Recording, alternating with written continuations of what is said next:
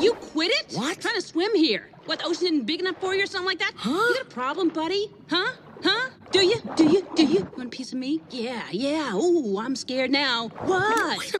Algae living inside the coral's body. Come on, that's creepy. No, it isn't. Yes, it is. Isn't. Is. Isn't. Is. Isn't. Whatever. No, it is not the whatever. It's true. How do you know? Are you a coral?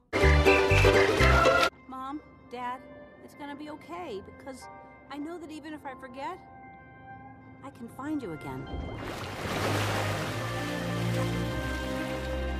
Mm, I don't remember any of that.